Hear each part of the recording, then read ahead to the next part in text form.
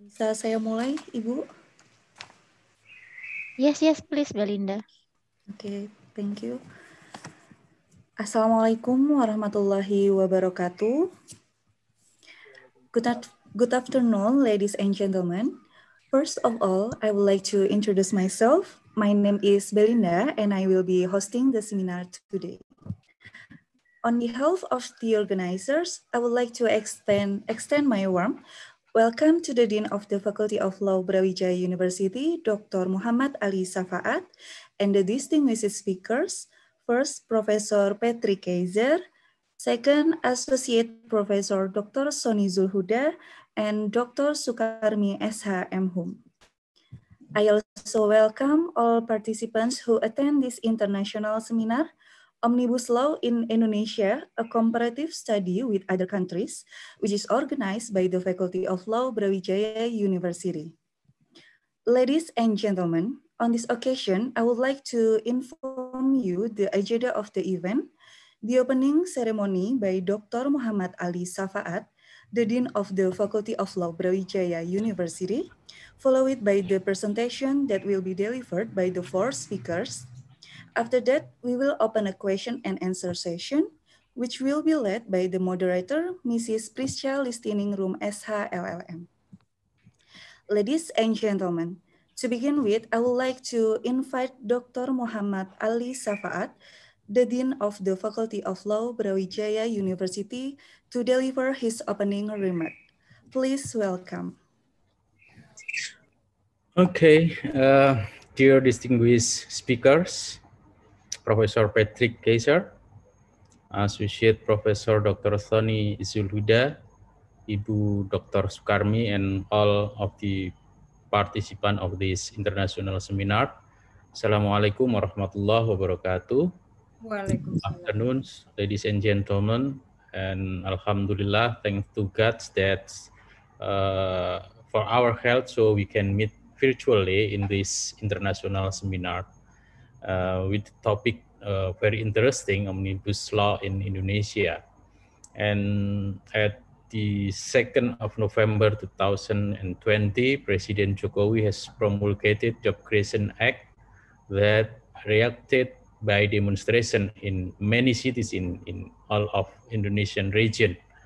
Uh, thousands of university students and labor expresses their disagreement for the acts during pandemic situation. And I think almost 6,000 demonstrants were arrested and maybe 240 of them will be brought to the court.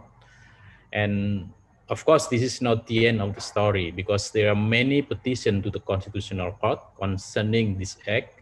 And this act itself needs many government regulation to implement. Uh, actually, omnibus law as a method is not entirely new in Indonesia, but as an act that changed 79 diverse acts uh, on 1,184 pages and proceed within less than one years. It's totally new in Indonesia. We hope uh, this international seminar enrich our perspective in analyzing uh, this phenomenon, this Job Creation Act. And I would like to express my gratitude to Professor Patrick Keyzer, Associate Professor Dr. Sonny Zulhuda, and Ibu Dr. Sukarmi for your willingness to become speaker in this international seminar. And also thank you for all the participants and committee for organizing this international seminar. Thank you. Assalamualaikum warahmatullahi wabarakatuh. Waalaikumsalam warahmatullahi wabarakatuh. Thank you, Dr. Muhammad Ali Safaat. Now it is time for the seminar presentation that will be delivered by our distinguished speakers. This presentation session, which will be chaired by Mrs. Priska Listening Room SH LLM. Without further ado, please welcome Mrs. Priska Listening Room SH LLM. Well, thank you very much, uh, Belinda. So Good afternoon, uh, ladies and gentlemen uh, in Indonesia, and also good evening for Professor Patrick in Melbourne. Uh, so today uh, we are going to have an international seminar on omnibus law, uh, particularly the omnibus law on the job creations. And we are going to have a comparative uh, learning from two countries, uh, which are Australia and Malaysia. So as the Dean already taught uh, later that the omnibus law is a very hot issue among the Indonesian lawyers and legal scholars today because at the beginning of this month, uh, to be exact on Monday to November 2020, the Indonesian government under the presidency of Joko Widodo has just signed an omnibus law on the job creation. Now the law is registered as law number 11 year 2020. The law itself consists of 15 chapters and 186 articles. It regulates a wide range issues from the environment to the uh, employment. And also uh, it uh, several verse and uh, concepts in others, if I'm not mistaken, 76 laws. So it should be very complicated because in concept, the use of omnibus law itself has not been accommodated by the legislation making law, law number 12 year 2011, even though the use of this concept is neither wrong nor prohibited. So there is a status quo here. Uh, another problem is also arises because the creations of the omnibus law on the job creations is considered as untransparent, not transparent, and also doesn't go through a proper process of public discussions. So without having more introductions, uh, we are going to open our discussion by having our distinguished speaker from Australia, uh, Professor Patrick Keyzer. He is the research chair of law and public policy at La Trobe University and also an expert on constitutional law.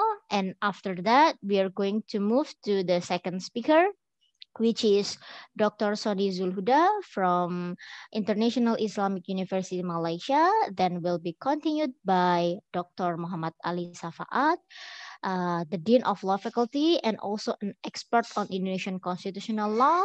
Then the last but not the least, we will have a thought-provoking presentations from Dr. Sukarmi SHMH, the head of law study program that will share us her thought on omnibus law in economic law perspective. So uh, for the first, I'm going to please Professor Patrick Keyzer to uh, deliver her speech maybe for 15 to 20 minutes. Uh, I please you, Professor Patrick. Thank you very much. And um, uh, greetings to all of you. Um, Salamat Pagi. And uh, because it's late afternoon here in, um, in Melbourne. Um, I hope you can all see the um, slides that I'm sharing from my computer. Um, so um, let me just hold on a second. Wait a second. Uh, let me go to the next slide. Okay, I hope that you can all see that second slide that says uh, the omnibus law. And I'm starting my presentation. Do you, have you, can you see the slide? No? No, yet. It was. Okay, The first let's- was, yes. Let's but try not- that again. Um, let's try that again. It it appeared before, and then you said you ch- you went to the next slide, then it disappeared.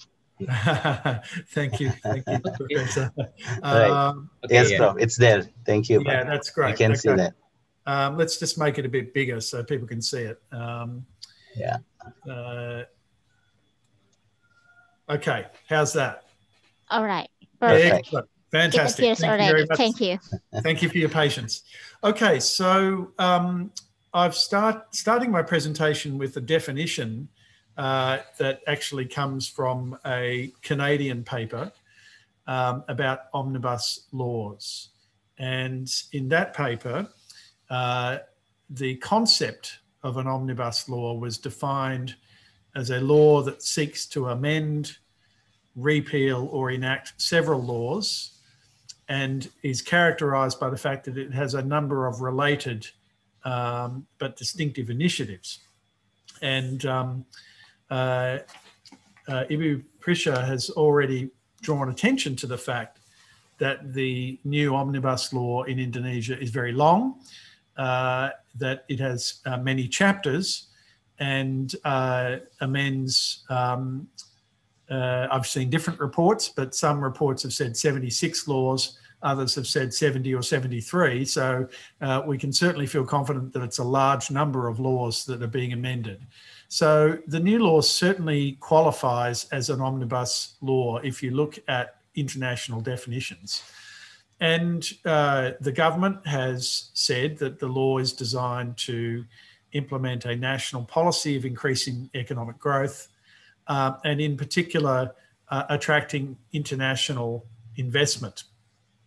Um, and I think part of the rationale for the new law, uh, according to the government, is um, some concerns that have been expressed uh, that uh, business compliance and regulation in Indonesia is uh, compl- complicated. Uh, and in making that observation, I'm not um, criticizing Indonesia uh, because personally I've always found Indonesia a wonderful place to visit uh, and I've never had any difficulty conducting business there. However, this is the impression that some international agencies and international businesses have. And so the government decided that they would engage in a large reform effort to um, streamline business uh, licensing processes and the like uh, for for international investors. Um, and and certainly the reception uh, of the omnibus law amongst uh, international um, uh, observers has been generally speaking uh, very positive. It's seen as a breakthrough um, because it is is simplified um, the law. So let's firstly start talk uh, my discussion about the positives, about the about the the reasons why governments would engage in omnibus uh, legal reforms. Well, it's it's it's a good technique to use when you want to engage in comprehensive reform. Um, so, um, and it's particularly useful in federal systems. So um, uh, Indo Indonesia, of course, is um, has national laws. Uh, it has provincial uh, laws and it has local laws. So it, there are there are many layers of um, law in um, in Indonesia. Um, and of course, there are decisions of courts, there are there are regulations, and there's legislation. So it is a complicated system. Um, and I know Australia is also a complicated uh, system, although Australia has a much smaller population. It also has a federal system of government. Uh, and what that means is that you can have uh, smaller parliaments and legislatures um, uh, making laws, local laws, uh, and then you have the national government making the national laws. And in Australia, there are many examples of omnibus laws being passed. So, for example, in about 10 years ago, uh, the Australian government passed an omnibus law on personal property securities. Um, so, this is the law that applies in Australia um, in circumstances where you are um, seeking to um, borrow money uh, on the strength of an asset that's personal property. So not not a um, not not immovable property like land, but movable property. And as a civil law country, you'd be familiar with the distinction between movable property and immovable property.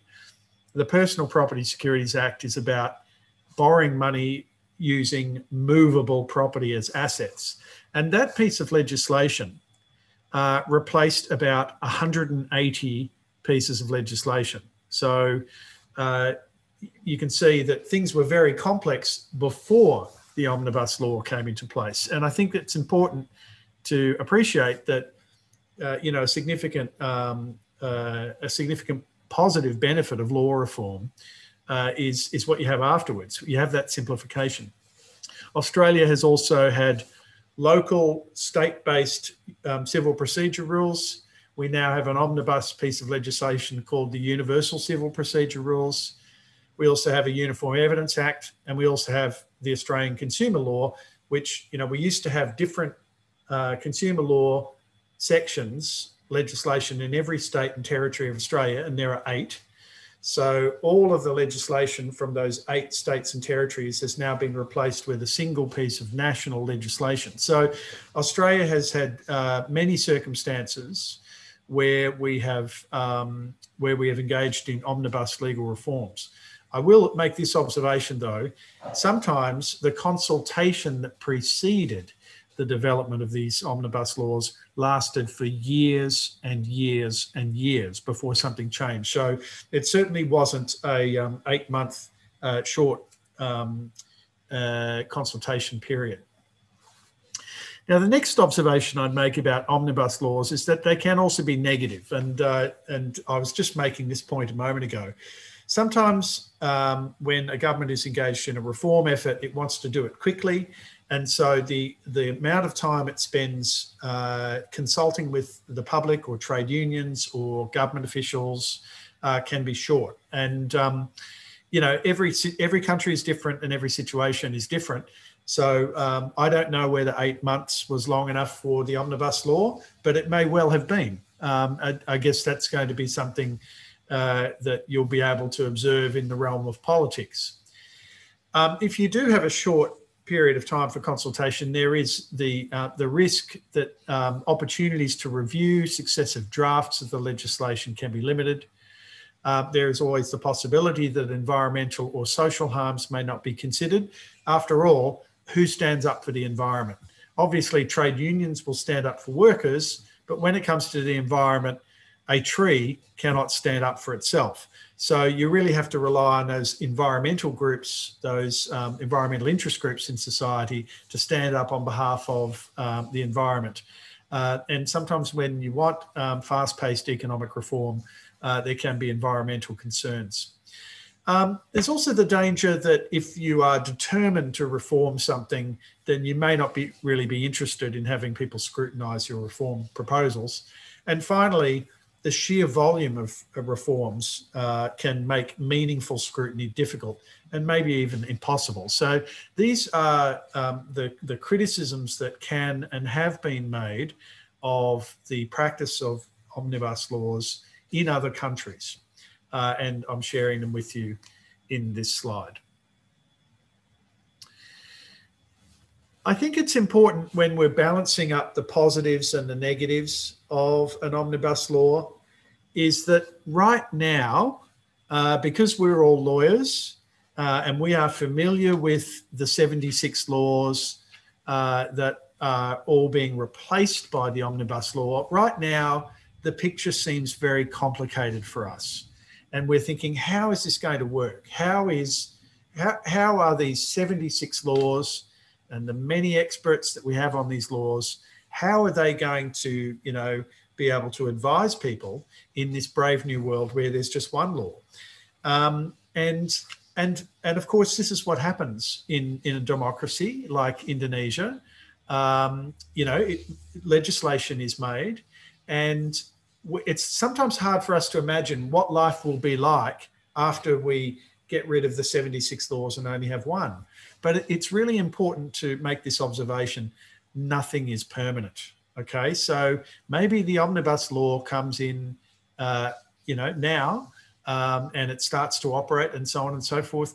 But that doesn't mean that the, the legis- legislature or the president can come back and say, okay, well, this part of it is working well, but this other part of it may not be working well. And that's the, the wonderful thing about democracy.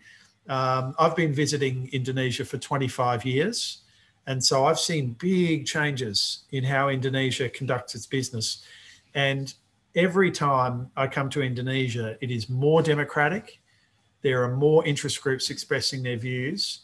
Uh, and that's a wonderful thing. So politics is very alive and very healthy in Indonesia. So I'm confident that although some people may have concerns about the omnibus law right now, these concerns can be addressed in political fora.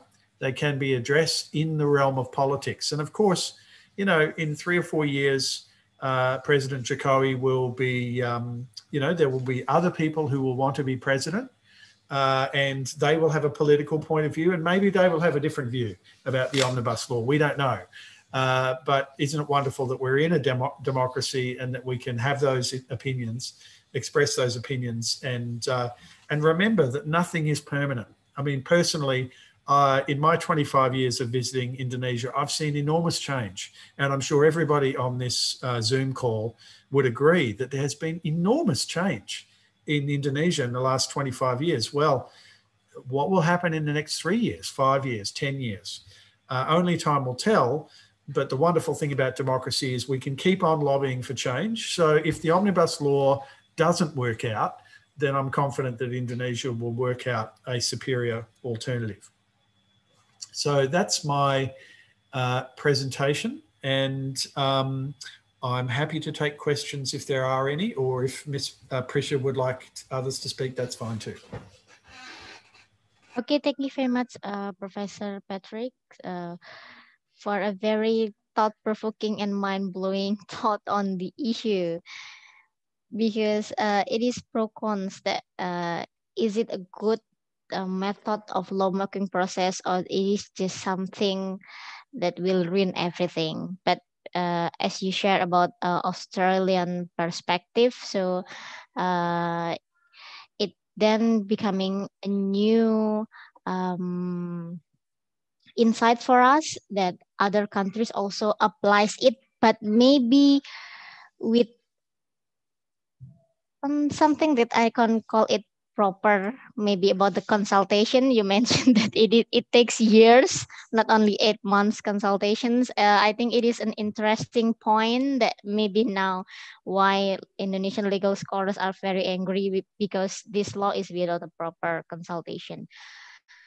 So for the participants, if you have any questions to Professor Patrick, you can just type it on the chat box and maybe after the second speaker, after Professor, uh, after Dr. Sony, I will let uh, Professor Patrick to answer some questions if there. Jadi untuk Bapak Ibu yang saat ini mengikuti seminar ini, kalau ada pertanyaan yang akan ditujukan kepada Prof. Patrick, silakan disampaikan di uh, chat box. Uh, nanti setelah uh, pemateri yang kedua, setelah Bapak Dr. Sony, Prof. Patrick akan saya persilakan untuk menjawab pertanyaan Anda. So now maybe with uh, while waiting for questions, we are moving to the second speaker, which is uh, Dr. Sonny Zulhuda, uh, Associate Professor at the Ahmad Ibrahim Kulliyyah of Laws law faculty is International Islamic University Malaysia that is going to talk about the Malaysian experience on omnibus law. So the time is yours, Dr. Sonny. Thank you. Uh, thank you, Ibu Priska. Now, uh, let me now set uh, this slide. Can you now see my screen? Um, yes, it is clearly, yeah. All right, thank you. Just one second. Um, sorry. Okay, Bismillahirrahmanirrahim. Assalamualaikum warahmatullahi wabarakatuh. Very good afternoon. Selamat siang uh, dan mungkin selamat sore for people at the at different time zones. And I noticed Prof. Patrick also mentions it is late afternoon back in Melbourne. So uh, I uh, greet everyone uh, who are here. Happily, I'm sharing uh, my thoughts on this uh, subject matter uh, omnibus law from the Malaysian experience. Thank you again for inviting me. Um, Miss Priska was asking me if I am Malaysian or Indonesian. That uh, I, I, I I am actually an Indonesian now. Currently uh, attached to this uh, Malaysian university. Yeah, so this Malaysian university is located in uh, near in Kuala Lumpur or in uh, near Kuala Lumpur, which is Selangor State. Um, and I uh, shall give my my disclaimer in the first place, yeah, because Prof. Patrick uh, beautifully uh, highlighted uh, his uh, viewpoints on this uh, topic, um, notifying us also in the beginning that he came from this constitutional. Either it was Prof. Patrick or I think the Madam Chairman was notifying us that Prof. Patrick was from the constitutional uh, law uh, uh, background. Yeah. My disclaimer to everyone here is that I am not from, I am not specialized in either constitutional constitutional law or administrative law uh, in which yeah, we would have dealt so much about these issues. So, uh, but I am happy to share uh, when I was approached by the committee uh, to share about this. At least I have, first I have learned about the law and legal system in Malaysia and the legislative processes in Malaysia. And also I have had um, benefit or advantage to witness the legislative uh, processes as well as some histories being made because I have been in Malaysia for more than 20 years. Uh, so that is my disclaimer. It is not my specialized uh, area, perhaps uh, unlike uh, some of the speakers over uh, here today. But I'm here to share what I experience, what I notice and observe from the general general law perspective. I like to proceed, but before that, I like to uh, so uh, thank uh, Dr. Dr. Ali, was it? Dr. Ali, who was giving the introduction uh, for for introducing uh, this program and for sharing with us also.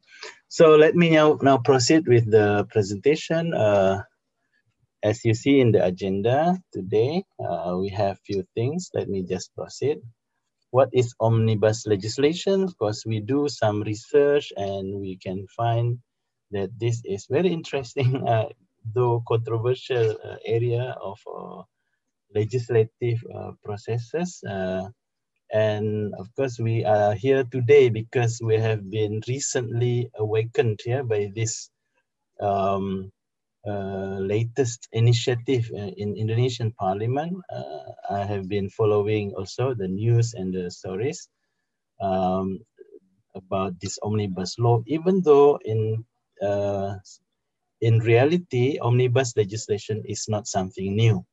Uh, it may not be new either in Indonesia, if um, I, mean, I, I, stand corrected for that. But when we look at any countries, there will be somehow some experience yeah, being uh, taking place, uh, including Malaysia, that sometimes our parliament uh, uh, faced with this situation that there is a matter that will have to be um, dealt with. And it so happens that um, uh, the, the, the situation, the circumstances are so different. So among others, for example, if they really need to uh, do something quick and speedy um, in terms of uh, legislating process, and certainly, uh, you know, the traditional way of uh, legislation may not really help. Then sometimes uh, the situation faced by our parliament is also that they have uh, something which is so complicated, yeah, which is so complicated, uh, which may not be easily dealt with in normal process. That's why we have this situation where the lawmaking becomes um, um, extraordinary, or in the word used by these writers such as uh, Gluck, O'Connell, and Po, as well as another writer by name of Barbara Sinclair, it is called unorthodox lawmaking. So it is a lawmaking process, which is a lawmaking process, which is not usual. And among others, is this omnibus legislation legislative process. So omnibus legislative process is only one situation or one example where the lawmaking process takes place extraordinarily, meaning it is not usual. Uh, how is it not usual? As we see in this uh, definition, which already has been shared by the by Prof. Patrick before me, uh, omnibus in omnibus legislation, we see that there is this package of bill yeah, or the uh, rancangan undang-undang RUU, uh, which is not very usual because uh, you see that this RUU is so huge, so long, lengthy, yeah, lengthy document. I was informed about hundreds or even above, above thousand pages because it packages together lots of things, a lot of issues and combine yeah, all these diverse subjects. So that becomes the omnibus legislation. Why the word omni? Why omnibus? Because actually omnibus is from this uh, type of uh, public vehicle, omnibus. Yeah. Uh, why we call it omnibus? Because omnibus takes people uh, wherever, uh, which whoever wants to take the bus, then they are allowed to take the bus. So omnibus takes people from um, uh, all types of uh, communities, all types of places, all types of background can take this omnibus. That's why the word omnibus means it actually takes a lot of things, takes off uh, I mean, a lot of matters. So when it comes to omnibus legislation, also added by Gluck and O'Connell and Po in his in their write, writing in 2015, it is a legislation that brings together many different subjects. For example, investment in one hand, and then uh, employment on the other, uh, environment, and then you also have some uh, education parts, a lot of things, yeah, a lot of things. And this is, as, it, as I said earlier, departing from the conventional process in multiple ways, meaning it is not usual. It is uh, not as what we have seen in normal circumstances. Um, it sometimes it comprises of mini bills, eh, mini bills, meaning some some RUU, some bills that are put together. You know? So in some countries, omnibus legislation means it is a multiple multiple legislation. It can happen like that. But in our recent experience in Indonesia, it is one single bill, right? But in other countries, sometimes they put different bills into one package and discuss it together and approve it at once. Discuss it and debate it at once and approve it at once and become like one group of uh, legislation. These things also happen. So we were asking, I mean, the, also the chairman was, uh, the moderator, sorry, was telling us, why, why, why is, what is good in that? What is good in that? Why still people do that? Because it is not new. So it has been there for some time. The, in, in the United States, in Europe, uh, in Asia, you know, um, our countries, uh, our neighboring countries like Philippines, Vietnam, uh, Malaysia, Australia, of course, and even Indonesia, we have been doing that. So we want to know what is it behind it. Okay, so I'd like to share uh, from these perspectives. Uh, first, omnibus legislation has been chosen by parliament because it, it is necessary to infuse one big system thinking on subject matter. Because before this legislation, perhaps uh, the, the subject matter had been um, had existed on a very diverse and different uh, thinking system. Thinking system here means the way people think about it, the way people know about it. So you will see for, uh, as an example later on, yeah, uh, as example. Uh, so when when when we are to face all this situation and we realize that there are so many ways people look into the subject matter, then we are looking at the possible uh, uh, at the at the opportunity to unify this to unify the different thinking system. This has been highlighted uh, when the United States was about to uh, legislate on food system, on food law, yeah, on food law. So the food thinking system was so different and diverse on how the supply and chain uh, system uh, takes place and so on and so forth. Yeah, so that's why they were thinking of putting uh, huge, a lot of uh, measures and things in one legislation in their food law. And then also uh, people opt or parliament opt for omnibus approach for the for the purpose of uh, alignment. Yeah, you see a few points. Uh, I'll go down in the left side, going down first. It is the best way to collaborate on the overarching common agenda. So if you think we have a common agenda and a lot of issues to be put together, so for the purpose of uh, pushing this common agenda, then uh, omnibus legislation is preferred. And also, um, it is uh, done uh, uh, because it is supported by more infrastructure, meaning today we will see more and more um, omnibus legislation than in the past. Why is that? Because we have more capabilities to actually see things yeah, in uh, different perspectives at once. So that will it trigger, of course, a lot of uh, uh, perspectives, suggestions. That's why things will become more diverse, will uh, tend to be more diverse and, and uh, uh, multiple interpretations. And that is why it is more likely that parliaments will have a big law where they will put a lot of things. Then we go to the right side here, alignment into a highly complex and politicized subject matter.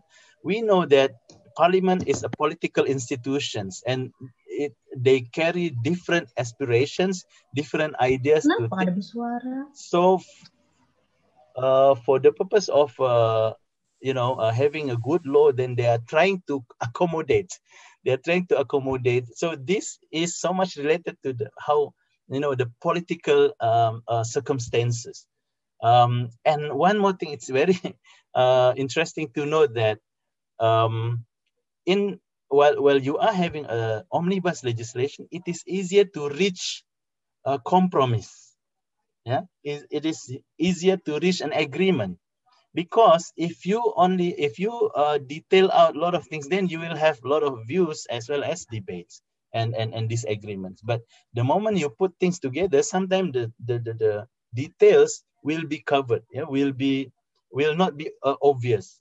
well, you can see it as positive or negative uh, it depends on the perspectives, right? But uh, uh, we have this uh, saying in, in English, uh, it says that uh, the evil is in the details. So the more you see into the details, then you will see a lot of problems. So sometimes the, the, the, the, the, the approach of omnibus legislation is try to cover all those, you know, details for the purpose of getting compromise on the bigger agenda. So that's why omnibus legislation is still being preferred. And uh, it may also provide add-ons or goodies. As I said earlier, you in an omnibus legislation, people will have a, uh, the general agenda or general uh, subject matters, but then the small, small matters, they can always add on for the purpose of uh, complying with uh, or accommodating uh, other parties or other people, I mean, other groups or parties in the parliament. So uh, to cut short, what I've been saying is that omnibus legislation is so much about getting compromise, yeah, compromise or approve, uh, approval and an agreement uh, for otherwise uh, what can be a very uh, controversial and complicated matter. Uh, however, I also highlight the problems with the omnibus legislation, among others, because this is an unorthodox uh, lawmaking. I mean, people are not really ready for it. People are not used to it. And of course, in parliament, we have uh, different uh, views, different uh, way of thinking. And not only that, we, uh, I mean, uh, academia as I must say, academia like us are also stakeholders for this legislative process. So sometimes we are just not happy if things are being done differently and it is seeking for compromise. You know, there is uh, sometimes agenda hidden in the goodies. Goodies means the small matters. Yeah, as, as I said, sometimes in the small, small provisions, you don't see it, but there could be some hidden agendas in that. So that has been also highlighted. And it may invite future problems uh, when it comes to implementation, also the institutional enforcements, because the moment you involve lots of uh, subject matters, then certainly it will involve uh, lots of or multiple institutions in enforcing it. We don't know, like this uh, omnibus law may seem to have passed the test, you know, in the parliament, it is already, you know, approved. But what about the enforcement? The moment it tries to enforce, then you will realize, and sometimes if the government is not uh, strong enough, then you will see, you know, clashes as well as disagreement within the government who is supposed to uh, execute and enforce the law. So this uh, is something which may happen in future. So I highlighted for you here, which of course I'll share with you all these slides, uh, some of these uh, quotes from these writers, yeah, that uh, omnibus legislation depart from conventional process uh, in multiple ways. Then Barbara said it may limit the ability of individual members of Congress to understand and influence the content of legislation. I must say, not only uh, not only laymen and people do not understand the law, but maybe even our members of uh, representative in the parliament may not even understand it clearly. You know what is being uh, approved in in the law. Uh, I'm not uh, accusing anyone, but these things is very much likely. Yeah also statutory interpretation can be very hard. And you know that the moment the law is passed and to be enforced by executive and if there is any um, um, uh, disagreement on the interpretation it has to go to the court. So all this you know interpretative uh, function of the court will become very hard you know. And our courts will have to look at the law and the law is like 1000 pages. So there will be another task for our judiciary to uh, have a very proper yeah, uh, interpretation on the law. So this is also highlighted or uh, viewed as a possible problems, yeah, uh, or, or, potential problems. Left. Right. Uh, okay. Uh, then we have few more. Let me just. Uh, I think I have mentioned in in in general, so I'm not going to read each of these. Yeah. but let me just take the first one, it does little to promote a deeply coordinated and systematic approach. It is it is difficult. You have a very big law. It is difficult to actually do the inter, for example, interdepartmental coordination or inter, you know, parliamentary uh, uh, uh, debates. We don't know. I'm, I'm not uh, specifically referring to the Indonesian omnibus recently, but whenever this happens, uh, it is not an easy job uh, for the, the, for the parliament to actually look into this law and make a coordination uh, work. it is very very hard. All right, now let me go very uh, specifically to my task, which is uh, in Malaysia. Malaysia practices bicameral chamber legis for legislative purpose, which is Senate and House of Representative. The Senate, in Bahasa, we call it Dewan Negara and in uh, the House of Representatives is Dewan Rakyat. Uh, it is not like DPR or MPR in the past, or and it is not like DPR and DP, uh, DPD, for example. But these two camera, uh, two chambers of parliament actually are involved in any law. Meaning, in one, if you want to pass the law, it has to go through these two uh, chambers if it started in Dewan Rakyat and, and approved in Dewan Rakyat, then it has to go to the Dewan Negara. Or sometimes it may start in Dewan Negara, then after it is approved, it has to go to Dewan Rakyat. And finally, it has to be approved by the king in Malaysia, uh, which is the Yang di-Pertuan Agong. So not the prime minister, but the king. Yeah. Uh, so who are they? Because uh, House of Representatives, they are all 222 elected members yeah, by election.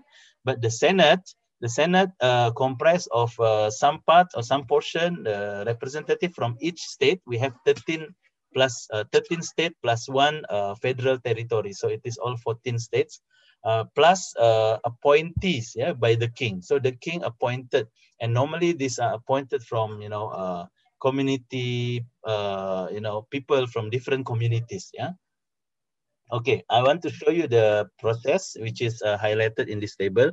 And the face, the, the very young face you see here in the beginning, in the middle of the slide, he is uh, our current member of parliament. He is the youngest member of parliament appointed to the parliament at the age of 26, Syed Saddiq, and he was our he's our graduate and he was our law student in the past. So uh, we are happy. I mean, we are proud to have him, and he was uh, holding this uh, post of ministry minister of uh, youth uh, and sports but now you see the political situation in Malaysia has been uh, changing quite often. He's no longer a minister now, but still a, a, member of parliament. So as you will see, uh, in every uh, uh, legislative process, it will go through uh, phases. For example, first is first reading, and then second reading, then uh, committee stage, and then third reading. So the main discussion and debate is in the second reading, actually. Yeah, first reading is only announcement. Second reading is the whole debates uh, from all the members, and then uh, after it was approved, then it will go to the committee stage where more details will be highlighted and will be fine-tuned. And finally, it will be voted again or it will be presented again in the third reading. But normally, when it comes to the third reading, normally there is no uh, issue, no issue. The issue has been uh, in the second reading.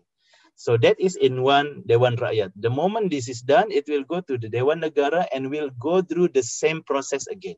But as you will realize, the most of the discussion and heated debate will happen in the House of Representatives, Dewan Rakyat, because this is all the elected members of the uh, political parties and the elections, including the individual uh, elect, uh, elected members. So I just want to highlight to you these two uh, camera, two chambers uh, track uh, in Malaysia. Now I want to highlight to you the experience in Malaysia we used to have uh, some uh, omnibus legislation in the past, even though uh, officially the government or the parliament never used the word omnibus legislation. Yeah, but it is uh, just like the, of the nature of the omnibus legislation. But in 1998, it deals with the Communications and Multimedia Act because it consolidates and repeals some laws, including Broadcast Act, Press Act and Telecommunication Act. So how many laws? Only three laws. But we consider it as a, this is not 70 or 60 or 70 uh, legislation, but only three laws being consolidated. So this is a, a, must because we are talking about new technology, right? Then in 2010, actually, uh, the one you see here in 2010 and 2013, they are all about financial uh, act, yeah, financial law. So there are few laws being repealed yeah, in each of these, but not more than five laws actually. Uh, few laws, few acts, as well as some guidelines and then rules, rulings. Uh, then they are all being accommodated into a new Financial Services Act. So one is, especially for this, uh, Labuan is, is actually uh, uh, one authority, uh, uh, call it uh, a special special area. And then uh, the other for islamic financial services act and another one is for financial services act. It actually uh, repeals some laws such as uh, payment system act you know uh, insurance act you know everything under the financial services. So uh, still the main issue is about financial services. And then very interestingly uh, the very recent in 2020 we have this covid-19 act actually just to shorten it call it COVID-19 Act 2020. As you realize, it makes temporary modification on 16 other acts. This is uh, by large uh, one of the biggest, yeah, uh, or, or I would say the biggest uh, uh, omnibus law in Malaysia. However, I must say, we didn't have big demonstration. We didn't have much debate on this because we actually feel the need of it. This is actually, even though it says that it changes 16 acts, but actually it uh, brings temporary changes only. As long as this COVID-19 pandemic is still uh, going on. So we change some law. For example, uh, some contractual law uh, that makes certain contract, yeah. Uh, for example, you already go, you wanted to go for Umrah, for example, or travel, but because of pandemic, then the travel uh, had to be cancelled. So can you sue the travel uh, agent or the event organizer? Uh, based, based on this law, you cannot. The word, I mean, you, I mean the right of the uh, person uh, upon contractual breach will be uh, negated yeah, because nobody can you know stop this. Yeah, this is something very extraordinary yeah. So okay. These are all the experience but i must say we didn't experience lots of uh, debates public debates because you must also understand in malaysia it's quite different. Things are done very differently from indonesia. Most of the public uh, participations actually done uh, through the proper methods of for example uh, conferences by way of uh, correspondence by way of uh, meetings, not by way of uh, street demonstration. It actually doesn't happen so much eh, like that in, in Malaysia. Right.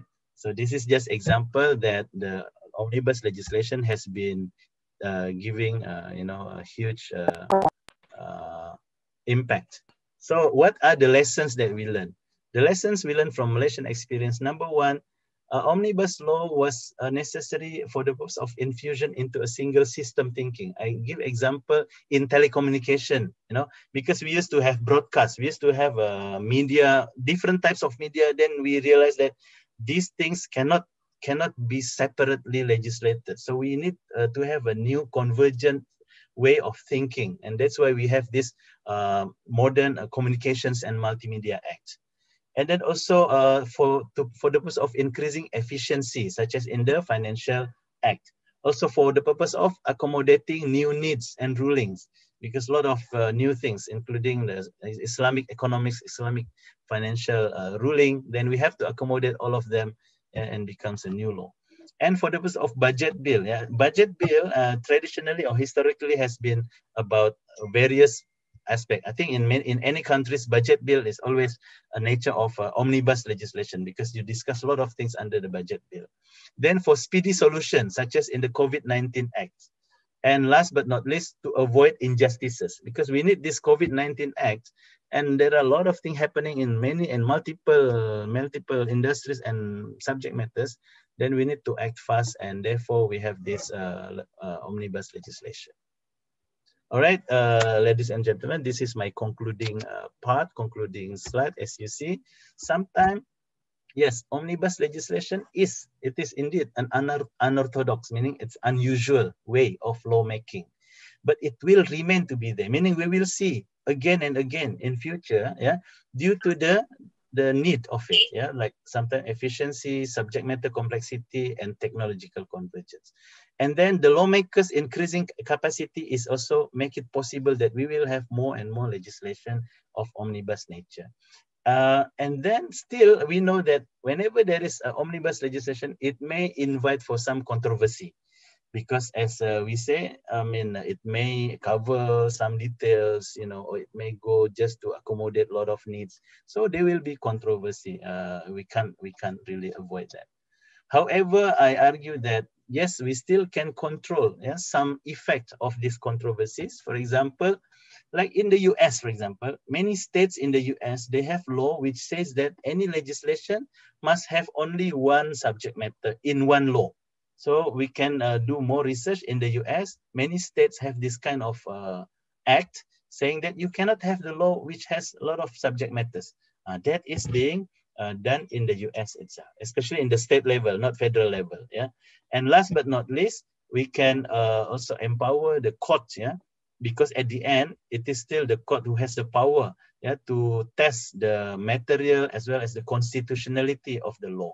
If we are not happy, and we can take this further to the court in order to test its constitutionality. So, so with this, uh, I must say, yes, we have this all pros and cons. And uh, it is really for us to always test uh, this need of omnibus legislation in near future. Thank you very much. Uh, just a list of reference for you, and thank you for the attention. Uh, okay, thank you very much, Dr. Sonny. Uh, so um, you have so many um, uh, you you have so many thoughts on the Malaysian experience. Although it is not necessarily called as the omnibus law, but it has the omnibus nature. So we still have three more minutes to Professor Patrick. Are you going to give kind of uh, concluding remarks before you leave us on two o'clock? before I move to our beloved deans, Dr. Muhammad Ali Safaat? Um, look, um, I've been I've been answering the questions in the chat, and I've been using um, Google Translate. So I'm hoping that the translations have been good. Um, I'm I'm happy to what I what I will do is uh, there's only one more question I've got to um, answer, and that's from Alda Rifad uh, Rizki. Um, so I'll answer that question. And then what I might do is um, put my email address in the chat. And if people want to send me questions, then after this, after I leave, um, I can answer them in the next few days. Um, but I also just wanted to take the opportunity to congratulate uh, Dr. Uh, Zulhuda uh, Sonny on his outstanding presentation. I'm, I'm uh, was uh, my knowledge of uh, Malaysia and its um, uh, was greatly enriched, and your slides are excellent. Um, so congratulations, and um, I look forward to communicating with you via email after the uh, after this uh, session is over. So I, I will leave my uh, email address in the chat. If anybody has any questions, they can send me an email. And thank you so much for the opportunity to participate in this session. Um, and um, I, I, hope that um, uh, may, may you all be blessed by God uh, and uh, have a wonderful weekend and, and good luck with all of the uh, important work that you're all doing. Thank you, Prof. Patrick. Okay. I'll see you later. Okay. You Thank you very much, Professor Patrick. My it's pleasure. very nice to have you here. And maybe in the near future, pleasure. we will have you again, still would- discussing I- I would- topics. I would love to come back to Malang as soon as COVID travel restrictions are lifted. I will be on the first plane plane to Indonesia. All right, thank you very much. We are fortunate right. to have you. Thank so you. now uh, I will give time to Dr. Muhammad Ali Safaat, our expert on constitutional law in Brawijaya University. Uh, Pak Ali would like to share us some pros and cons of the enactment of the omnibus law type of legislation in Indonesia because it is the first and sadly it is not conducted in a proper way. So maybe Pak Ali would like to explore more about that. So the time is yours Pak Ali Oh, dan jurnal Redaksi Cinta 122 ada Brawijaya Law Journal sebagai penulis tunggal ada jurisdiksi beliau penulis ketiga dari tiga penulis ada jurnal Kertapat wait a minute, it's another meeting. it's fine sir. I know you have a lot of works to do and we are we are happy to have you today Okay, thank you, Prischa, and thank you, Prof. Patrick Keyzer, and um, some of the definition and then experiences uh, from the other country has been told by the uh, speakers, uh, previous speakers, and I'm going to present it the pros and cons concerning the uh, omnibus law, not only in Indonesia, but uh, in other countries, uh, specifically in uh, Canada and then in uh, some states of in United States of America. First of all, I think uh, Dr. Sonny Zulhuda and then Professor Patrick has explained about the definition of omnibus law. But for Indonesians, the important thing is how we define on difference uh, between omnibus law and codification. Because i think in some countries the codification is also said as omnibus law. Uh, an omnibus law the key keyword is uh, a bill consisting a number related so related but separate part that seek uh, or repeal one or several existing acts. So one bill, one undang-undang, uh, change or amend or repeal part of the other acts. So this is different with codification because codification is systematic regulation. So this is a uni, a unity, a union in one act. So uh, this regulation in a single code concerning many aspects, a broader field of law, but uh, have close relation. For example, uh, right now in Indonesia, I think the House of Representatives still have agenda to uh, deliberate the Bill of Criminal Code. And if they agree about the criminal code, so many acts actually will be repealed by this code. For example, the anti-corruption code, the money laundering, the domestic violence, it also will be codified in one code that it's criminal code. So this is the difference with the omnibus law. And omnibus law actually uh, in other countries has been uh, has re experience about the omnibus law. For example, in Canada, it's in 1868 uh, has the omnibus law, the act that continue for a limited time the several act therein mentioned. But I think it's not like a job creation act. If we set this uh, act as omnibus law, in Canada in 1868. Actually, we also have this kind of act. In the first uh, proclamation, we have acts that continued to uh, enforce the, the Dutch colonial law. Uh, so this is a kind of omnibus law, but not like uh, Job Creation Act. The second, the Criminal Law Amendment Act in Canada also but this is i think the substance is have close relation between one part to the other part because this act uh, amend or repealed a certain act concerning the uh, uh, the crime uh, from the the child crime to the corruption and the other. So this is concerning a criminal act. And also the um, uh, miscellaneous statute law amendment act that's amend many many acts in canada. So this is uh, i think in many countries also have this kind of act. And the pros of the omnibus law in many countries especially in canada and uh, united states of america First, uh, this kind of act will unifying principle in single purpose, unifying trade and unit, unitary in unitary purpose. Uh, so uh, a certain government in a certain time have one agenda, have one principle that will bring uh, to the law by amend or by repeal many, many of the acts, existing acts that's not consistent with the principle bring by the government. So this is uh, the the principle of the omnibus law.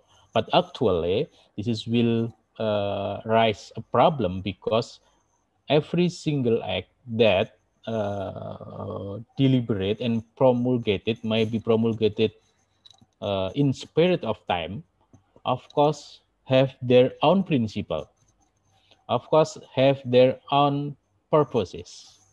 For example, we have in Indonesia, we have the agrarian law that created uh, promulgated in 1960. So they have are they have their own uh, principle that of course differ from the, for example, the Act of uh, Foreign Investment that promulgated in reform era. So how this act is still consistent in their uh, norm itself between one part between one paragraph to the other paragraph if repealed by the omnibus law.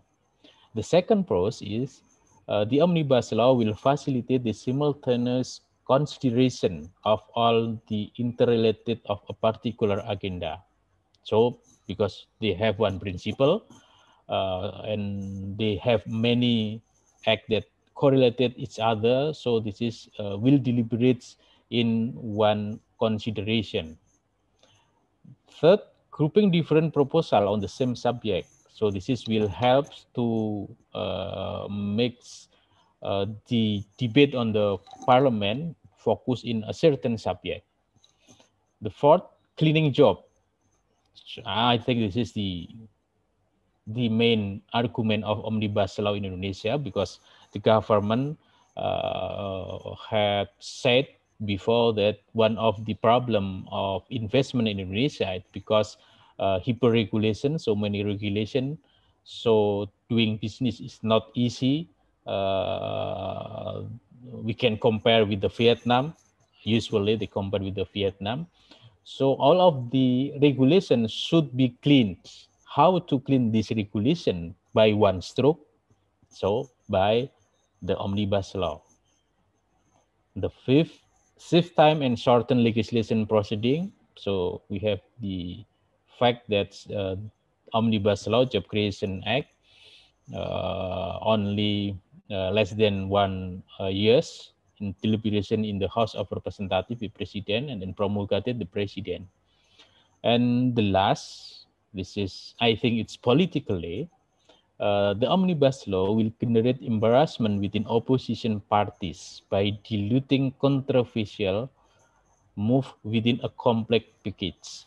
I think the next slide will show how this works. That based on the assumption that nobody will, would be satisfied by each by each phase of the deal if considered in isolation. So it's mean that if the parliament uh, deliberate or negotiate negotiated between the government with the opposition, they will never satisfy because it is only in one uh, uh, act only in one issue but that we should try to include in another package a little something for everybody if in one act uh, the government have uh, uh, have something to offer to the opposition, so the opposition also get something from the act that would be uh, approved by the parliament. So uh, they will agree. The opposition will agree. So this is to minimize the consensus between uh, the government with the with the opposition in the parliament. So this is politically used by the government uh, that introduced the omnibus bill to the parliament. And the contrast, the contrast of the omnibus law, the first, uh, by omnibus law, individual member of the parliament are prevented from saying yes or no in every single issue. So we know that the process of the deliberation of the Job Creation Act in Indonesia, uh, maybe only 10% the member of the House of Representatives read whole document of the omnibus bill. I think mm, maybe less than 10%. So they, they can say yes or no because they, they do not they didn't understand what's the substance of the omnibus law. And second, uh, this omnibus bill cannot be referred to the appropriate specialist committee for scrutinize. Uh, in Indonesia, I think we have uh, 12 committee in the House of Representatives from Committee 1 until Committee 12. Committee 1 from for uh, international relation, uh, foreign political affair, Committee 2 for uh, government, for local government, Committee 3 for law. So when the omnibus law consisting 79, 78 acts that uh, have the substance concerning many, many aspects from the environmental law uh, to the government, local government, to the halal product, which committee should deliberate, should read deeply the concept of omnibus bill uh, delivered by the government. The third, Parliament could lose their opportunity to identify and correct any flaw the bill might contain. So this is already happened in Indonesia. Uh, from the differences of pages until uh, the the the clerical error. I don't know, is it true clerical error or maybe substantial error? And because of this is a big work, and then our parliament is lack of capacity, so our government do it. The government draft the bill, the government will make uh, revision after uh, the agreement in the House of Representatives, and the government will make the uh, government regulation to implement the act. And of course, the last, limited public participation. And because this limited public participation, I think why the people in Indonesia, uh, especially this university student and labor, uh, disagree with uh, the substance of the uh, this Job Creation Act. And in United United States, uh, in the California state uh, have the principle that a statute shall embrace but one subject, which shall be expressed by its, its title. So uh, not like the Omnibus Law, uh, Job Creation Act, but the substance it's so many. Uh, if a statute embraces a subject not expressed in its title, only the part not expressed is void. So this is the principle in the California. Why this is uh, happen in United States? Because uh, in one case, uh, Commonwealth versus Barnett in Pennsylvania, uh, the judge said that bill that's popularly called omnibus bill become a crying evil, not only from the confusion and distraction of the legislative mind by the jumbling together of incongruous subject, but still more by the facility they offered to corrupt combination of minorities different interests to force the passage of bill with provision which could never succeed if they stood on their spirit merit. So uh, in many forum, I said it's the legal policy. Actually, the legal policy of Omnibus Law Indonesia is for easy in doing business by uh, make uh, simple to invest in Indonesia, uh, simple to make uh, uh, corporation in Indonesia, and also uh, foreign investment. So if this kind of act, if this kind of bill deliver independently to the House of Representatives, I think the opposition or the public of Indonesia will reject this kind of uh, acts. So why the government uh, give the good name Job Creation Acts? Uh, in the United States, also an organization, social organization uh, called Downsize DC, that campaign to stop omnibus law uh, uh, to the congressional leader uh, because uh, uh, they said that uh, it's bill only for one subject and to stand or fall entirely it's on its own merit.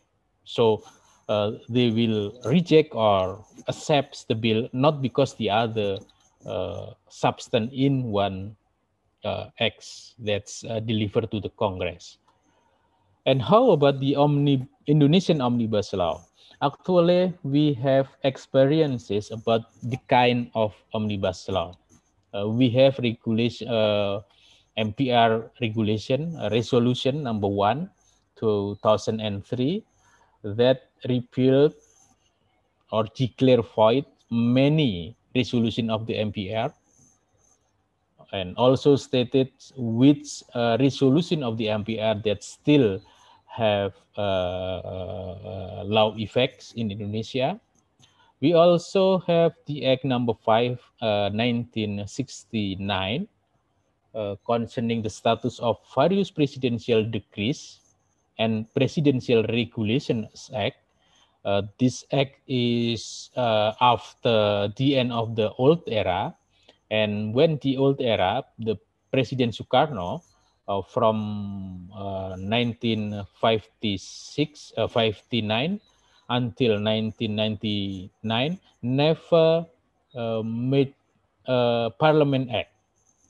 So the law, it's by the presidential decree or presidential regulation or by the emergency law that created by the president itself. So in this transition period, uh, the government uh, review all of the presidential decree and presidential regulation and said which one is still uh, good for the next government and then this uh, become an act uh, similar to the parliament act and which one is not uh, the law anymore. We also have parliament acts number 23 2014 concerning local government that repeal certain part of 3x uh, concerning legislative, I think the Parliament Act, uh, because on local government also uh, have regulation concerning the local parliament, the DPRD in Indonesia, and also concerning the general election. so, but it's not so many act that repealed by this uh, local government act. And the drafting the the the act it's one uh, unified act not like the job creation that's only change only amend a certain paragraph certain article of many many acts. So this is our experience in indonesia. How about job creation law?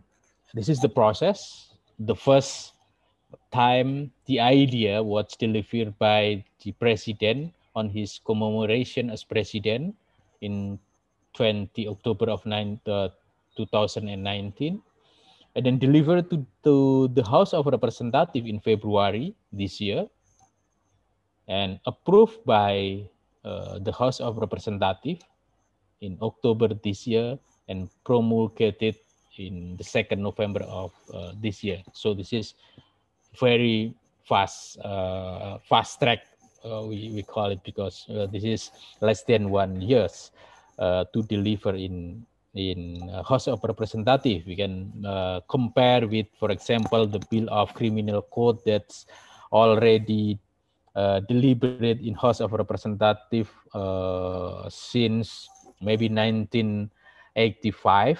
Until now, it's um, not yet uh, uh, decided uh, decide uh, by the House of Representatives and the government. And uh, of course, this huge substance and then fast track in deliberation raise a problem. The first the problem is concerning the form because based on our legislation law, uh, we only know the five kind of, of five form of act. The first is acts in general, one subject, one issue. Uh, for example, the acts on uh, local government, the act on uh, uh, uh general election.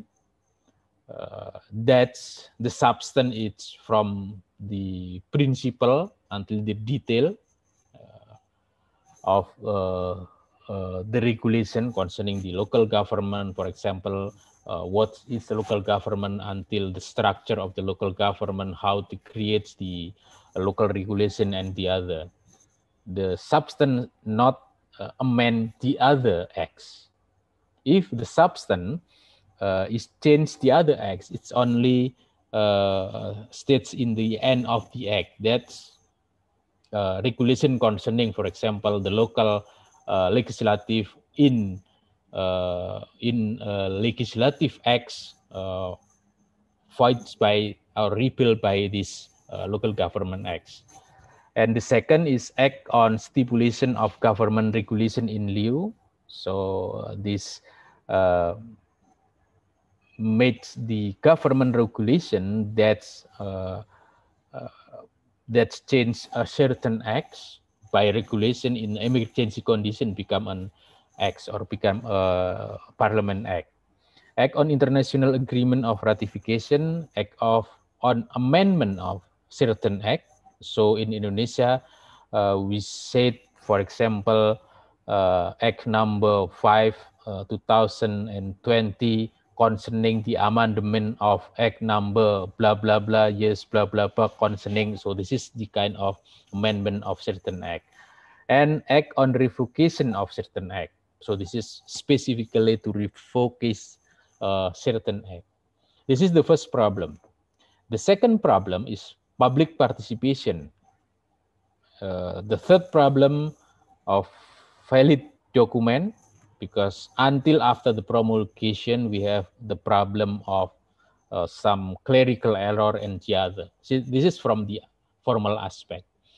And the second is substance. I think many debate, many discussion in Indonesia concerning the substance about the legal policy, whether it's really to create job by open uh, entrepreneurship for the micro and and and middle entrepreneur or actually it's give the red carpet for the uh, foreign investor the problem with labor protection the problem with the local government because many of uh, uh, uh many of the of the business of the local government centralized to the central government environmental law, corruption, corruption, and then uh, small scale and middle scale uh, entrepreneurship protection. So this is a, the the problem, and of course, by the promulgation of the uh, omnibus law in Indonesia, it's not the end of the story because uh, this is uh, enter to the other step the judicial review in the constitutional court. Until now, uh, there are nine applications that challenge the omnibus law in the constitutional court, both in formal concerning the procedure and the step of the uh, uh, uh law creating of the omnibus law. And the second uh, concerning the substantial the substance of the omnibus law. In the three cases three application it's both formal and substantial judicial review. And also we now have the problem with the implication or with the operationalization of the omnibus law because this law even uh, one of the goal is to uh, simplify regulation. Even one of the goal is to stroke hundred of the act uh, that's like hyper regulation, but actually this job creation uh, act need at least 44 government regulation to implement and I believe, I strongly believe that each of the government regulation will also needs other lower regulation, ministerial regulation. And I'm not sure, I'm not convinced that between one government regulation to other government regulation, it's synchronize each other even uh, this, they have correlation. For example, uh, uh, the government regulation concerning land management and property with government regulation in settlement of neglected land and area with the government regulation on land procurement for public interest development. These have correlation each other, but I think it's very hard to synchronize each other and the president give three months for their cabinet to meet all of 44 government regulation. Uh, of course, uh, we hope that it's not going to be hyper regulation again. So I hope uh, uh they have um, much more time to create this government regulation. So it's uh, not uh, useless because if uh, this uh, government regulation becomes hyper regulation again, so there is uh, useless. Uh, we have omnibus law and useless of the demonstration of the student and labor because the, the condition is just the same before the omnibus law. Thank you, Prischa. Yes, thank you very much, uh, Dr. Muhammad Ali Safaat. So now we are coming to the last presentation from Dr. Sukarmi SHMH. She is going to share her thought on the economic law perspective of the omnibus law So we are fortunate to have Dr. Sukarmi because she is an expertise. She is an expert on the economic law uh, because uh, prior to becoming the head of law study program, she served as the commissioner of the Business Competition Supervisory Commissions of Indonesia for two periods from 2006 to 2012. So Dr. Sukarmi, please share us your thought on this perspective. Okay, thank you Ibu Prischa. Bismillahirrahmanirrahim. Assalamualaikum warahmatullahi wabarakatuh. Good afternoon, ladies and gentlemen. Welcome, uh, Professor Patrick and Dr. So Sony from Malaysia. Okay, um, I am the last speaker. I think I I just make a conclusion. I think it's very simple for us. Okay, yes. Um, uh, my chair about the omnibus law in economic law perspective. Yes, this is uh, the background. What I think uh, so many uh, reason what uh, why the omnibus law come to Indonesia. Pak Ali have been uh, present and then uh, Malaysian uh, perspective and then from Mr. Patrick. Yes, uh, I think that making a new law to amend several laws at one. In Indonesia, uh, we call it the Undang-Undang Jagat. Omnibus law is Undang-Undang Sapu Jagat. Uh, so many uh, law uh, become to the one law, becoming the Undang-Undang Sapu Jagat. Um, the streamline regulation in terms of number, so many num, uh, so many uh, uh, law become to the one uh, package. This concept is we know that's uh, not common in civil law system, but common in uh, uh, Anglo-Saxon, for example, United States, like uh, uh, Mr. Patrick and Pak Ali said uh, before. Then the use of the omnibus law concept is this is able to eliminate the many overlap of law, which is uh, vertical and horizontal, to make uh, the synchronize both horizontal and vertically of the law. And omnibus law is a short way to avoid clashing rules both vertical and horizontally. And I think uh, we can uh, like this uh, definition, so many definition and uh, many terminology of uh, omnibus law. Yes. Okay. This is uh, Mr. Patrick also mentioned before about that they can be good or they can not good about the omnibus law. This is the problematic as mentioned also by the Professor Patrick. Now, uh, the legislative passed the job to creation bill uh, law uh, number 21 2020 about the creation uh, jobs law. Uh, there are uh, consists of 11 clusters, namely simplification of licensing, investment requirement, employment issue of doing business, empowerment of protection as and cooperative, and then the research and innovation support cluster, government administration imposition of sanction, and acquisition, issue of investment and national strategic and special economic zone. This is uh, the uh, content of substance of the uh, what is the omnibus law on creation job law in Indonesia. Now, if we look at the omnibus law and economic constitution, we have the uh, constitu constitutional Undang-Undang Dasar 1945 artikel 33 is an economic constitution. We have a question.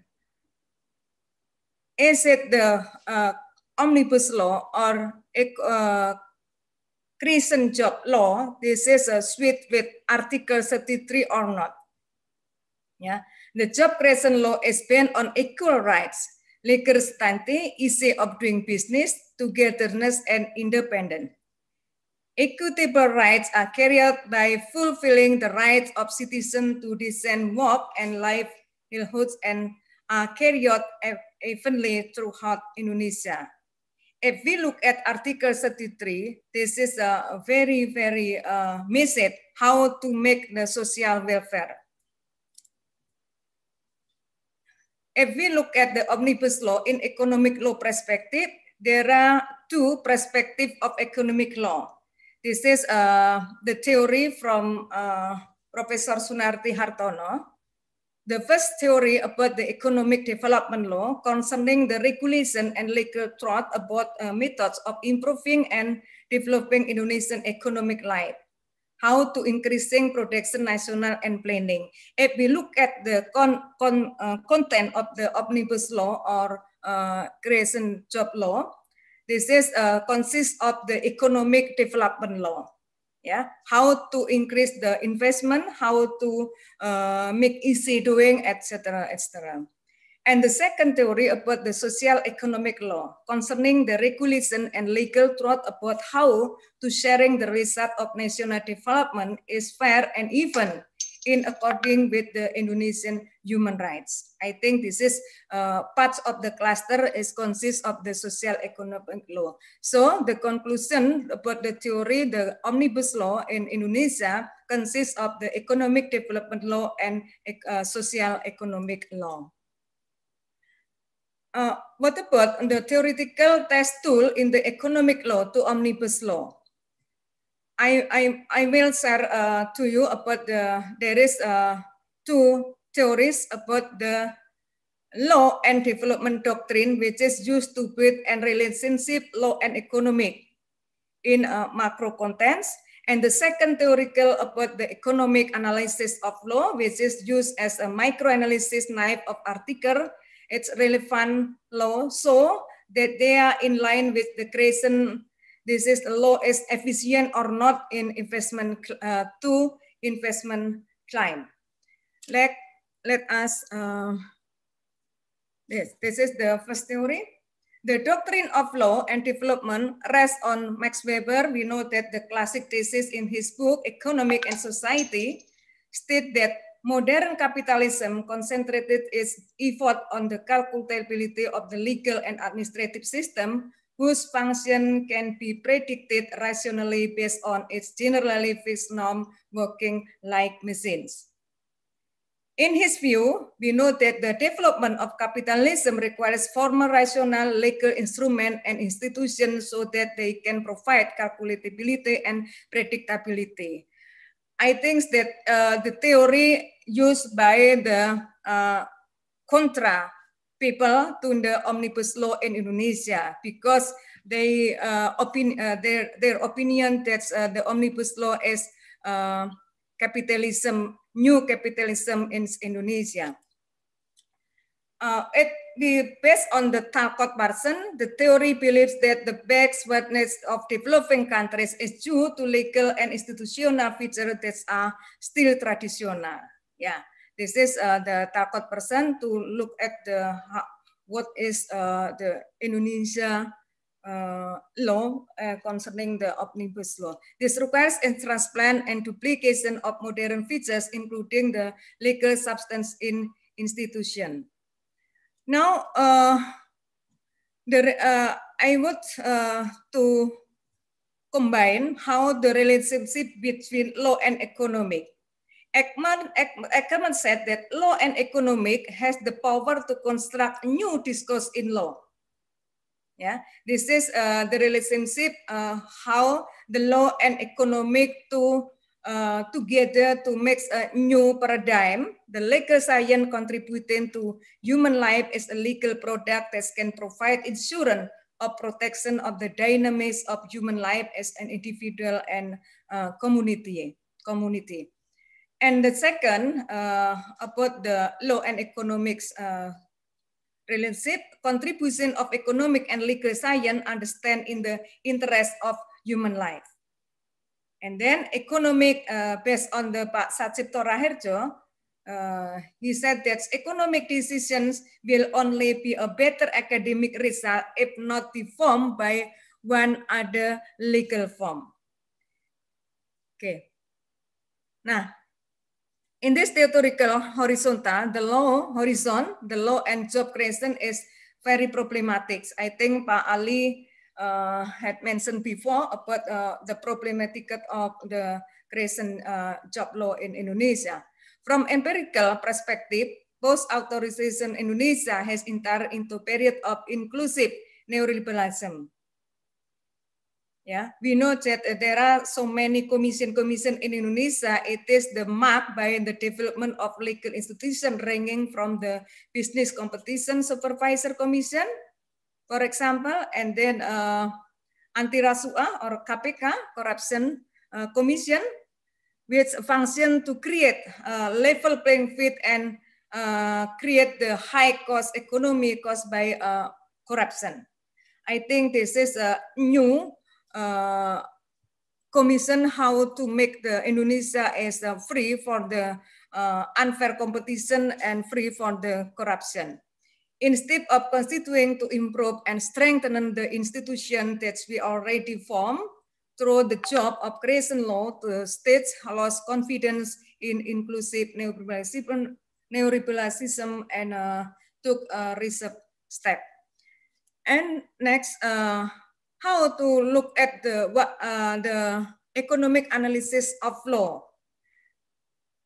This regulatory perspective uses uh, cost and benefit analysis, uh, social environmental problem as a result of investment I directed uh, to use of a risk-based uh, approach. How to make the to to manage the risk risk of the investment. In this context, that's compiler of academic perspective, uh, Undang-Undang Cipta Kerja, Creation Job Law, based of their way of thinking on the assumption of uh, Ronald cost in the problem of social cost. Yeah, many demonstration and many uh, lost object and something like that, where guarantees of protection protection for investor ownership and low social and environmental transaction costs will make the parties adopt the most efficient solution in dealing with risk. How to make a, a, a solution in dealing with risk. The illustration is if a pollution, for example, occurs, then this problem will be resolved between the polluting company and the pollution victim through the cheapest solution. How to make solution to make uh, the minimalism of uh, risk about the uh, regulation. This is uh, from Richard Posner, uh, economic concept analysis of law. With if we look at the, uh, for example, omnibus law, it's mean uh, creation job law. Is it have a utility maximization to people or only on the parts of the people, for example, for the capital owner or something like that. And then is it rational, rational or not about the law? And then the stability of preferences and opportunity cost. And this is, uh, I think if we uh, look at the back to the Article 33, this is a many question, a big question for me, especially, is it can to prove that uh, Cipta Kerja law can keep the social welfare or not. And then in my conclusion, the economy is based on economic democracy, property property for all. This is uh, the message of the Article 33, our constitution. That is why the branches of production that's uh, important to the country and thus to control the lives of the people must be controlled by the states. Yeah, not by the other person, but by state because this is uh, the function of the resources is this for property property for all. Otherwise, the aim of production falls into the hands of those in power and the people whom he praises a lot. So, only a companies that don't control livelihood of the masses can be in the hands of individuals. And then the earth and the water and the wealth of nature contained in the earth are the trees of the prosperity of the people. Last but not least, uh, Article 33 as a challenging from the Cipta Kerja law. I think this is my presentation, very short. Thank you very much, Ibu Prischa, and uh, thank you. Assalamualaikum warahmatullahi wabarakatuh. Waalaikumsalam warahmatullahi wabarakatuh. Thank you very much Ibu Sukarmi. So there is a question for you Ibu Sukarmi from yeah. Sandi Permananugraha. -mm. Uh, dalam pasal 109 Undang-Undang Nomor 11 Tahun 2020 tentang Cipta Kerja menyatakan bahwa minimal untuk pendirian sebuah PT adalah satu orang. Apakah hal tersebut tidak melanggar ketentuan yang ada dalam pasal 7 ayat 1 Undang-Undang Nomor 40 Tahun 2007 tentang PT mengingat dalam pasal tersebut menyatakan bahwa minimal pendirian sebuah PT adalah dua orang. Ya, Baik, terima kasih Bu Priska. Pertanyaannya bagus sekali. Justru itu yang menjadi problem bagi kalangan uh, akademisi di dalam hukum bisnis bahwa dengan artikel tersebut justru bertentangan memang dengan apa yang disebutkan tadi dalam Undang-Undang PT. Prinsip pendirian sebuah badan usaha itu harus di badan hukum khususnya karena PT itu adalah badan hukum, maka harus didasarkan kepada kontrak atau perjanjian ya minimal perjanjian itu harus dengan dua orang ya satu pihak dengan pihak lain saling mengikatkan diri untuk membuat atau berbuat sesuatu atau tidak berbuat sesuatu. Nah justru ini dengan omnibus law justru ini adalah sesuatu yang menurut kami di kalangan bisnis law adalah tidak tepat. Di mana pun namanya PT itu mesti harus ada sebuah perjanjian minimal adalah dua orang atau dua eh, Ya, kalau toh dengan orang dengan orang ataupun uh, badan hukum dengan uh, non orang yaitu badan usaha maka harus dua orang. Itu ya. Nah, barangkali ini juga yang nantinya ya saya kira ini menjadi satu uh, apa ya persoalan nanti yang akan disampaikan juga tentunya di dalam uh, uji material di Mahkamah Konstitusi tentunya karena terus terang bertentangan dengan hakikat pendirian sebuah badan hukum itu.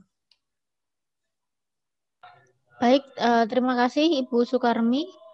Uh, mungkin ada pertanyaan dari yang lainnya bisa ditujukan ke Dr. Sony, ke Dr. Ali Safaat, atau ke Dr. Sukarmi. So if everyone have a questions for our speakers, you may raise your hand or unmute your speaker, your microphone directly. Is there any question from the floor?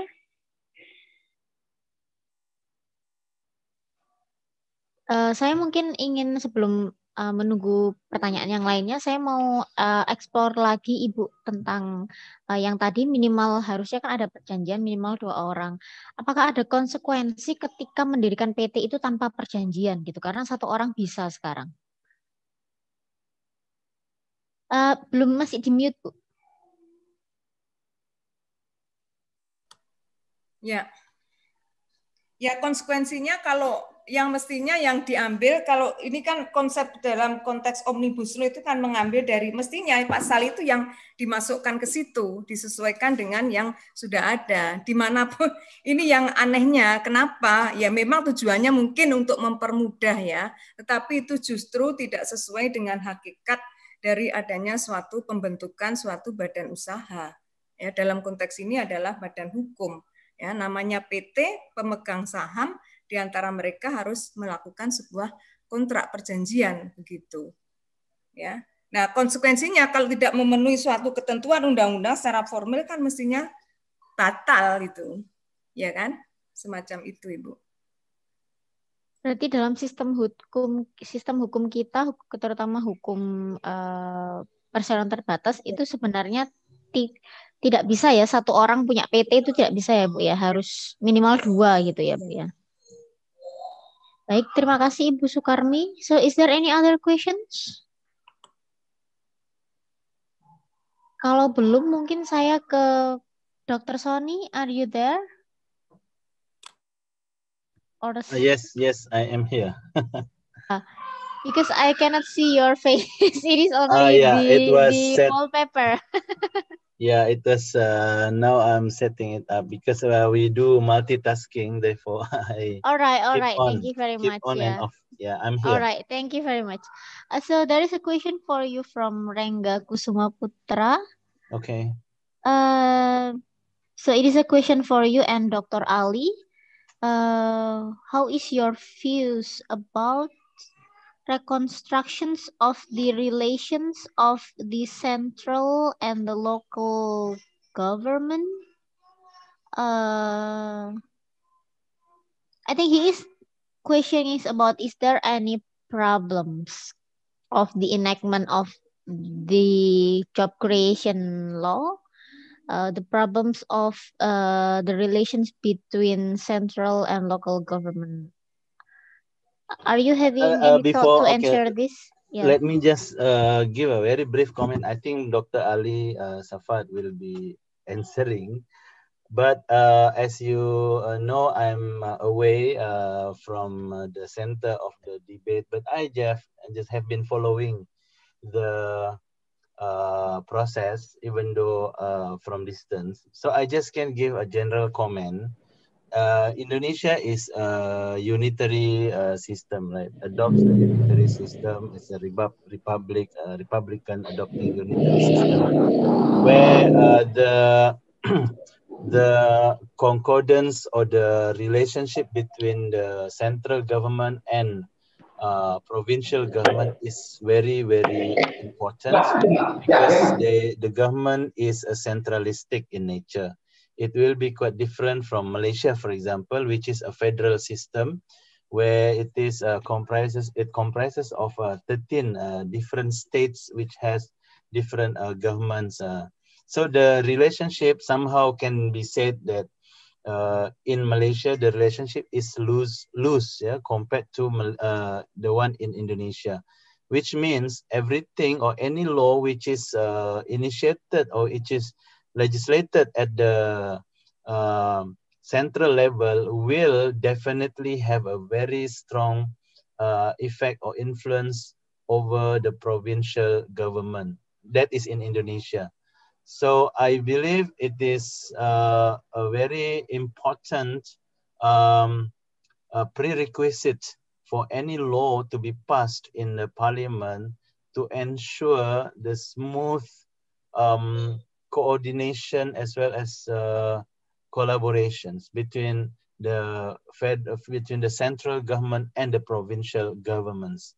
So I, I cannot go deeper into the Undang-Undang Cipta Kerja itself, but I suspect there could be lots of uh, inconsistencies between the interests of the uh, uh, central government and the interest at the provincial governments. That's my uh, comment to that question. Thank you. All right, uh, Dr. Sonny. Uh, before going to Pa Ali, I'm asking you, is there any political will or debate or issue that Malaysia will apply this kind of uh, law making technique? Or it is just silence in Malaysia, there is no issue about it? Uh, as I said, practically and in reality, we have had experiences in the past where the uh, parliament had passed legislation which repeals uh, several laws at the same time and combined into one. We already have that experience. But interestingly, uh, there had not had there hadn't been any you know uh, huge or or massive opposition to that uh, from Malaysian public. Uh, but uh, there there had been always you know debates in the parliament on normal issues. But I think the reason is not because people in Malaysia are not aware, but rather because uh, those uh, omnibus legislation that we have had in the in in the past in Malaysia are considered, you know, less controversial. Uh, and in fact, this is according to the need. For example, we need a law which combine computing, broadcast, press, and many other similar industries into one. Of course, everyone needs that. Everyone needs that. So there is no controversy on that and also in other issues but if i imagine if similar if similar uh, bill like undang-undang cipta kerja also is introduced in malaysia i believe the same at least similar you know reaction as well as opposition will also take place because i cannot imagine you know having one uh, for amending 70 over 70 legislations. And just now with uh, Dr. Sukarmi, Ibu Sukarmi just highlighted to us one of the example of the problem relating to uh, the the establishment of a company. I think that is very uh, uh, disturbing situation. Yeah. Uh, so so so that is my comment in in Malaysia. Thank you. All right, thank you very much, Dr. Sonny. So now we are going to Dr. Ali Safaat. We still have um, like seven minutes before we close this um, agenda today. Okay, concerning the local government, uh, to say whether the Job Creation Act is uh, tend to centralize uh, the authority or not, it's we, we can see from three aspects. The first is whether this acts uh, makes uh, the affair that's originally it's in the local government become the affair of the central government or not. And the second concerning the license, the uh, uh, in doing business, for example, in mining. And the third, it's concerning the spatial planning, the authority to create spatial planning.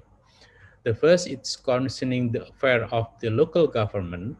We can say that uh, the local government have the autonomy if any affair that decentralized from the central government to the local government. Uh, in other words, the more decentralized affair, so the more the authority, the autonomy authority of the local government.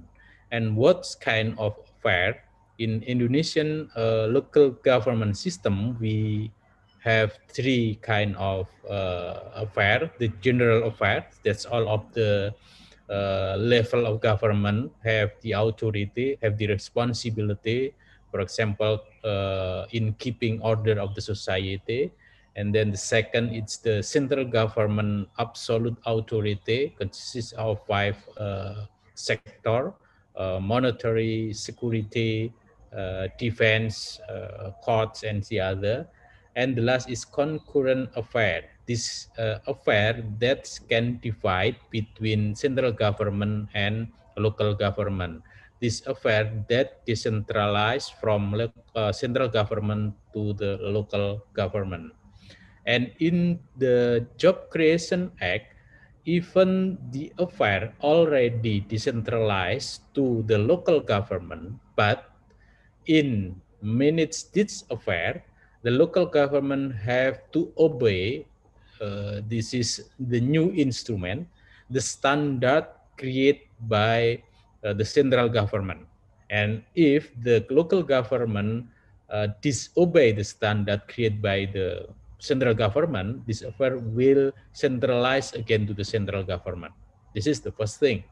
The second concerning the license. Uh, actually in doing business. Uh, for example, for mining and other, it's many uh, uh, doing business. If you want to doing business in local government, in Job Creation Act, you have to have license from the central government, not from the local government anymore.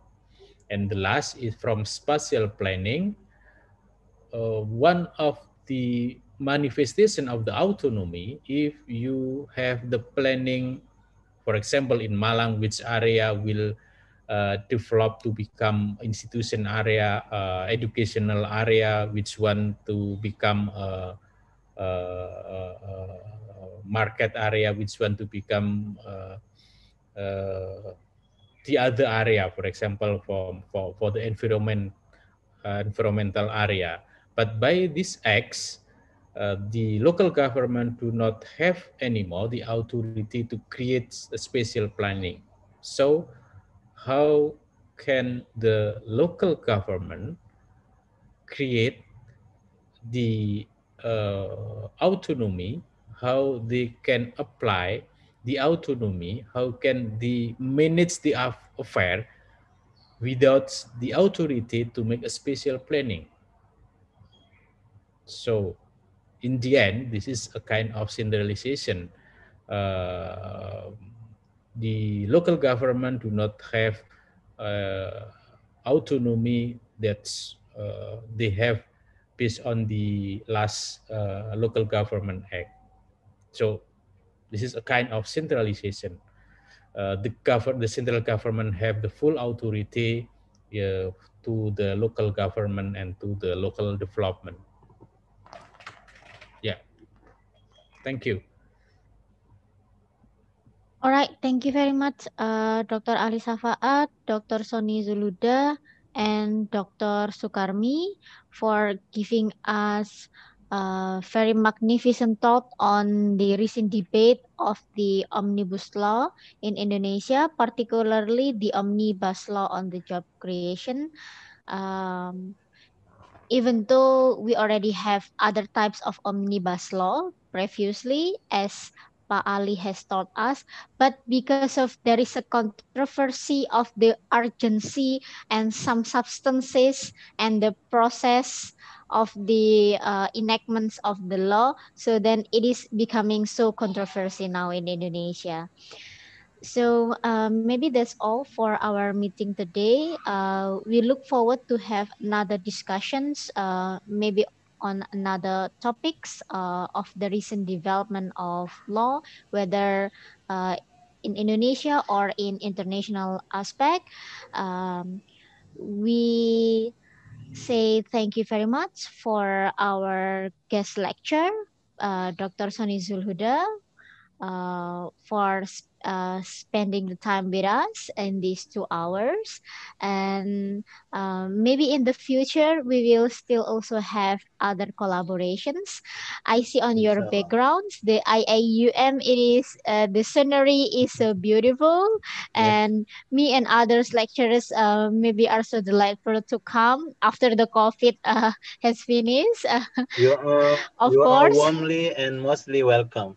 Uh, actually, last year we we did uh, welcome uh, one delegate of students coming to our campus as a visit. Alright. uh, so we would Alright. welcome you again in future. All right. And thank So- you for having me. Thank you everyone. Thank you Bu Sukarmi and Pak Oh, Ali. sama-sama. Thank you Thank you, very much, Sony. Sama-sama. Some years, some years ago, I will go to your university. Oh my God. Okay, good. Yeah. thing. uh-uh. Hope we can meet again. Inshallah, inshallah. Right, inshallah. maybe that's all from me. Uh, I'm sorry if have I. I have any mistakes in delivering as well as facilitating these discussions. Uh, thank you very much and wassalamualaikum warahmatullahi wabarakatuh. Have a good day, have a great day, and wish you all the best. Terima kasih Mbak Bu Rizka. Sama-sama. I will Saya send the certificate to Bu- your email. Alright. Saya kagok manggilnya Bu Priska atau Mbak Priska soalnya masih kelihatan kayak mahasiswa. ya. Baby S1 face. ini. Sebenarnya sudah tua. Masya Allah. Terima kasih. Thank you. Ya, Sukses acaranya. Terima kasih. Ya. Waalaikumsalam. Pak Ali, Bu Sekarmi saya pamit ya. Ya. Baik, Assalamualaikum. Assalamualaikum warahmatullahi warahmatullahi wabarakatuh. Matur nuwun Bu Karmi. Sama-sama Mbak Bu.